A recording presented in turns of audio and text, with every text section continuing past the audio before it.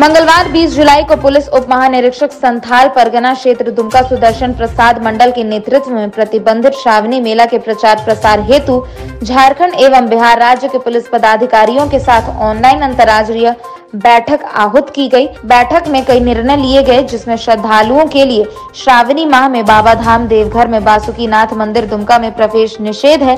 श्रद्धालुओं को रोकने हेतु अंतर्राज्यीय सीमा पर चेक पोस्ट का निर्माण किया जाएगा। गत शुक्रवार को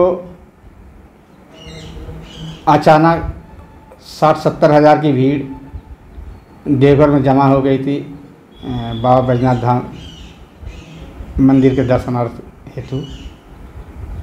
इसके लिए हम लोगों ने आज SSP Bhagalpur, SP Banka, SP Jamui, SP Godda SP Dumka, SP Deoghar SP Giridih के साथ वर्चुअल मीटिंग की है। और उनसे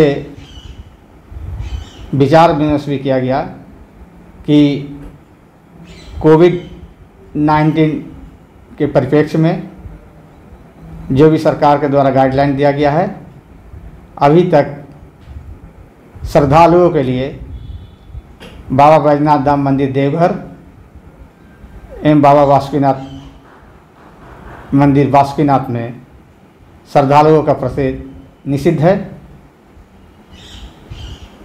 इसके लिए व्यापक प्रचार प्रसार कराए जाने का मीटिंग के दिन निर्णय लिया गया, ताकि आम लोग जान सकें कि मंदिर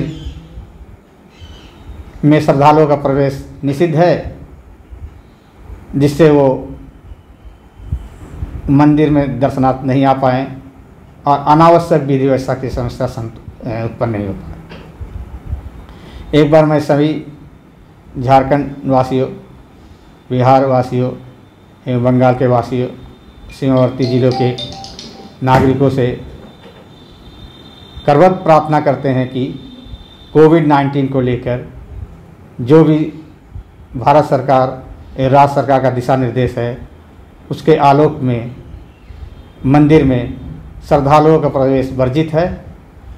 ऐसी परिस्थिति में आपसे अनुरोध किया जाता है कि आप यहाँ पे मंदिर में दर्शनार्थ नहीं आए, जिसके चलते अनावश्यक आपको भी परेशानी होगी और प्रशासन को भी परेशानियों का सामना करना पड़ेगा इसलिए हम आशा करते हैं, संथाल परगना प्रशासन आपसे अनुरोध करता है कि आप जब तक कोई आदेश नहीं आता है तब तक आप दर्शनार्थ देवघर एवं वासुकीनाथ में नहीं आवें यही आशा और विश्वास। दुमका से स्वदेशवाणी के लिए बसंत भालोटिया की रिपोर्ट।